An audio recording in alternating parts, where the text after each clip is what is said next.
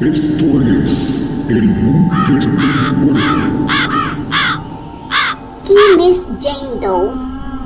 Estados Unidos identifica a una misteriosa mujer asesinada en 1991.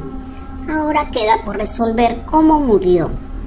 Casi tres décadas después de que unos trabajadores encontraran el cadáver de una mujer durante una obra, las autoridades han conseguido saber el nombre real de la mujer en Sacramento, Estados Unidos.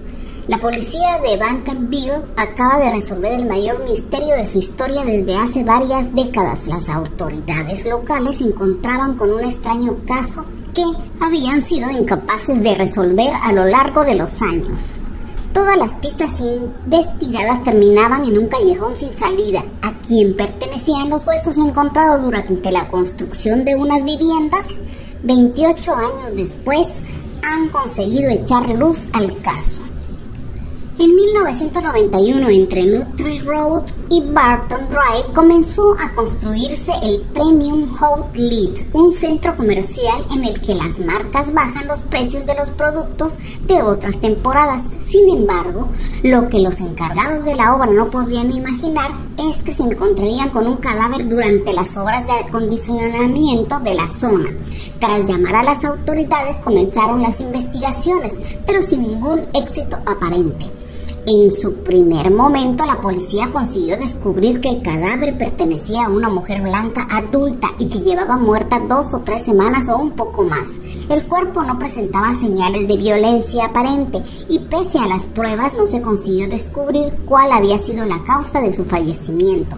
Desde ese momento pasó a ser llamada Jane Doe un alias utilizado por los americanos para citar a las personas que desconocen su nombre.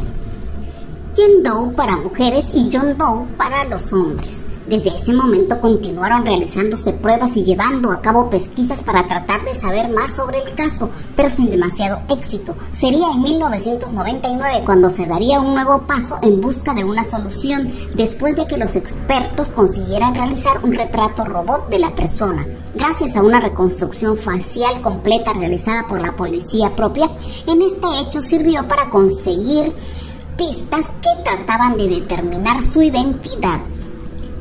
Pero no han sido hasta ahora, casi tres décadas después de su muerte, cuando las autoridades han sido capaces de conocer el nombre de la persona desconocida. Se trata de Cynthia Merkley, cuyo nombre de casada pasó a ser Cynthia Villardi.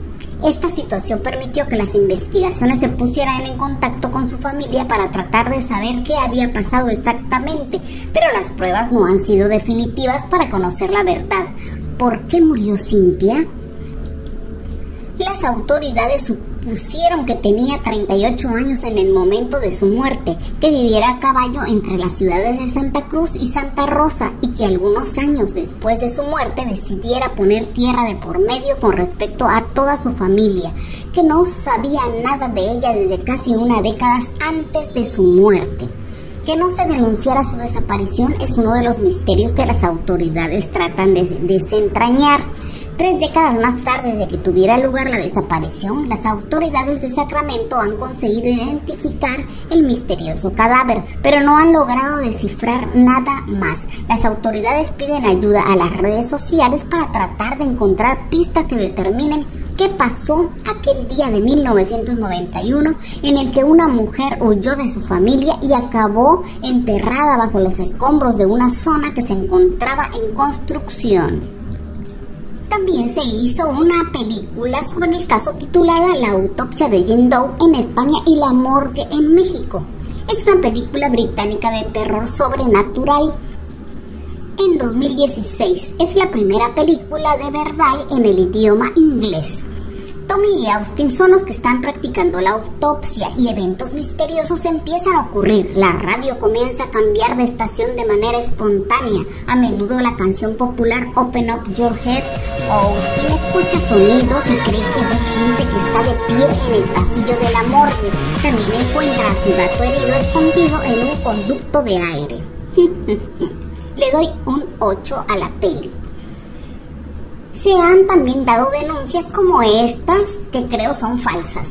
Tal y como anunció el Departamento de Policía de Vacaville, en Facebook los detectives han contactado ya con su familia. Entre ellos se encuentra su hija, Ciclin Johnson, que según medios locales se encontraba precisamente buscando su madre.